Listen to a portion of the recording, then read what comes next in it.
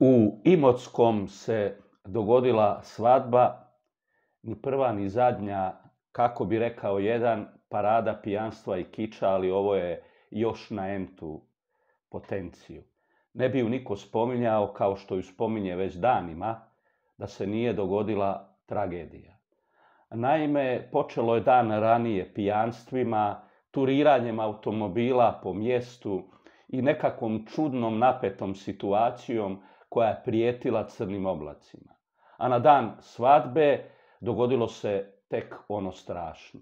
Gomila pijanih ljudi, došlo je već tada do kakvih sukoba, svađa ovoga onoga, a onda je došlo do tučnjave mladića gdje je jedan nogom u glavu udario drugog, ovaj je pao, udario glavom, život mu je u opasnosti, vozili su ga u Split na operaciju, što će biti, kako će biti, e, to je sad pitanje.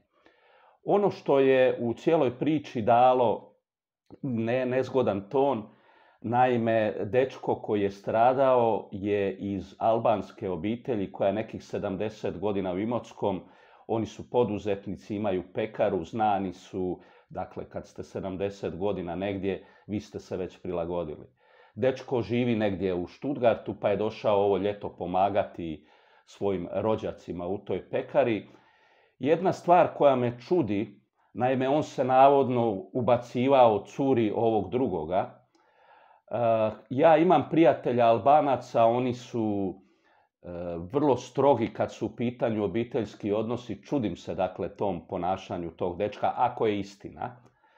A ovaj drugi je bio pijan i nasilan i dogodilo se to što se dogodilo. Ovaj ga je mogao udariti pa da ovaj ne padne glavom, pa bi se možda to shvatilo kao nekakva, ajde, ono, uobičajena cirkusijada koja ide u svadbe, ali ovo je sad poprimilo vrlo neobičnu dimenziju.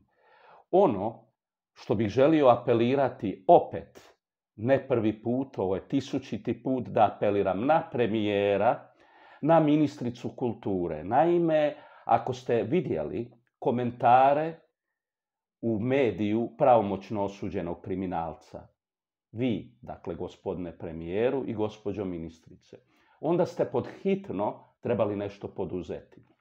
Jer u tim komentarima počeo se događati jedan nečuveni šovinizam, nečuveni rasizam, nečuvene bljuvačine i to je nešto što je toliko strašno, što treba podhitno spriječiti. Ja odavno smatram, ne tiče me se privatni medij, privatni medij nije moj medij i ja nisam dužan svojim parama plaćati privatni medij kao što to jadni narod radi. Dakle, prošle godine mi smo dali 2 milijuna eura za privatne medije da bi oni širili mržnju.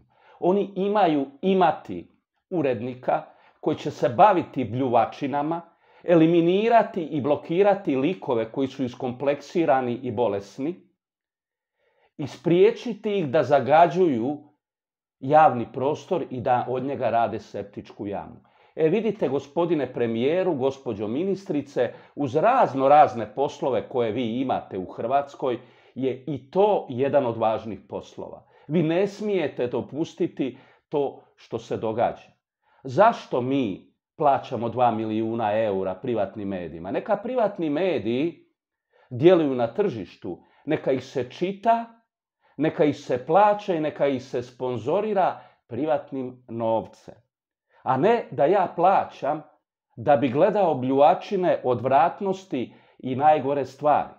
Naravno, pri tome je jasno da osim Imotskog u svakom mjestu u Hrvatskoj se ponašamo kao divljaci, kao primitivci i događaju se neviđeni ispadi po svadbama, e, prevrtanja, tučnjave, vrijeđanja, svađanja i tako dalje. Dakle, to nije specifikum Imotskoga, ali bi bilo dobro da se nekako malo i uljudimo, da prestanemo stalno davati maha nekakvim animalnim strastima.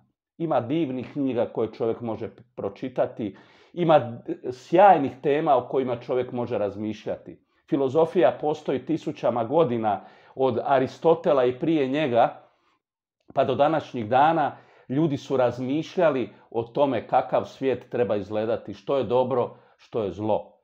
Pijanstvo, nasilje, pa i mogućnost da taj čovjek, taj mladić, e, i umre, su vrlo ružne, vrlo mučne za pomisliti da će možda završiti na takav način. Naravno, tu su se sad pojavile navodne, opet je sve na razini trača, bljuvačine, septičke jame, a ne novinarstva. Da je obitelj, je li ta počela prijetiti nekakvom osvetom, ovo ono. Dakle, je li i to istina?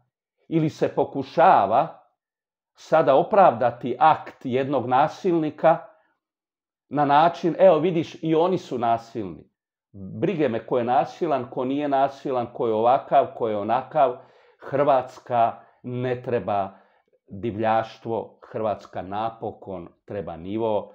Ljudi moji, hrana je skočila u nebo, plina možda neće biti, nafta skače u nebo. Saberite se, se prestanite se ponašati kao divljaci iz 13. stoljeća, nova su vremena, u njima se moramo baviti ekonomijom i prije svega vlastitim opstankom, jer je veliko pitanje hoće li ovakva Hrvatska za deset godina uopće postojati i hoće li u krajnjoj liniji postojati hrvatskog naroda, jer ako je s lakoćom otišlo 450 tisuća ljudi, a da nitko za njima nije zaplakao, neće plakati ni kad odemo svi.